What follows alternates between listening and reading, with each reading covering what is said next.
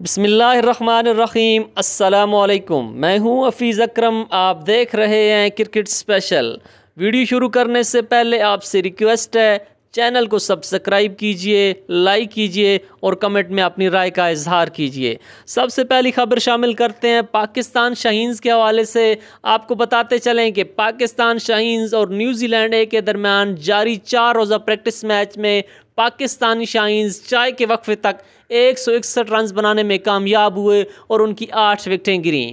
شان مسعود نے آٹھ رنز بنائے، عابد علی سات فواد عالم تین، کپتان روہیل نذیر نے اکیس رنز بنائے، جبکہ عمران بٹ ستائیس رنز بنانے میں کامیاب ہوئے۔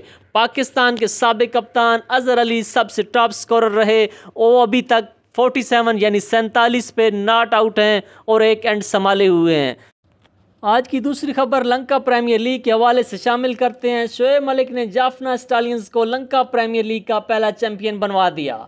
ان کی ٹیم نے فائنل میں گال گلیڈیٹرز کو ترپن رن سے شکست دے دی۔ تفصیلات کے مطابق فاتح سعید نے چھ وکٹ پر ایک سو اٹھاسی رنز بنائے۔ شعیب ملک نے سب سے زیادہ چھیالیس رنز کیے۔ تو شارہ پریرا انتالیس پہ ناٹ آؤٹ۔ دنجنا الیکشن نے تین وکٹیں لیں۔ جواب میں گال گلیڈیٹرز کی ٹیم نو وکٹ پر ایک سو پینتیس رنز بنا سکی۔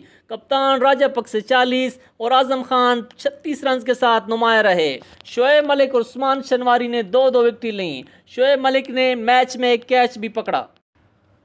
انضمام الحق نے محمد یوسف کو چیف سلیکٹر بنانے کی حمایت کر دی۔ ان کا کہنا تھا کہ سابق کپتان دنیا کے مختلف میدانوں میں پرفارم کر چکے ہیں اور ان کے پاس کھیل کا علم کافی ہے اور وہ سمجھ بوجھ رکھتے ہیں۔ یوسف کی آنکھ کھلاڑیوں کا ٹیلنٹ پرکھ سکتی ہے، اس لیے میری نظر میں چیف سلیکٹرز کی پوسٹ کے لیے وہ پہلی ترجیح ہونی چاہیے۔ یاد رہے کہ ہیڈ کوچ مصباح الحق کی جانب سے چیف سلیکٹر کا عہدہ چھوڑنے کے بعد پی سی بی نئے چیف سلیکٹر کی تلاش میں ہے۔ حتمی فیصلہ رواں ہفتے متوقع ہے۔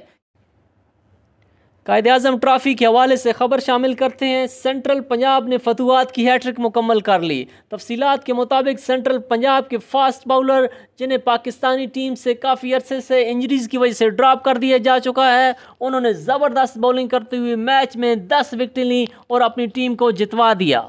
اگر آپ کو یہ ویڈیو پسند آئے تو لائک کیجیے شیئر کیجیے۔ نیکسٹ ویڈیو تک اجازت دے دیں۔ اللہ حافظ۔